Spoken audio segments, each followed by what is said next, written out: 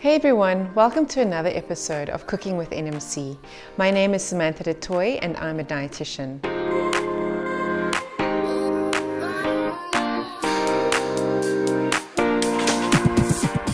Today's recipe is one of my favorites because it has a great variety of tasty plant foods that complement each other beautifully.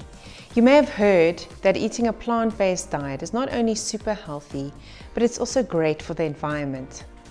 Plant foods are packed with nutrients that help protect you against disease and also boost your energy levels. It's a simple meal with fantastic flavors. Enjoy!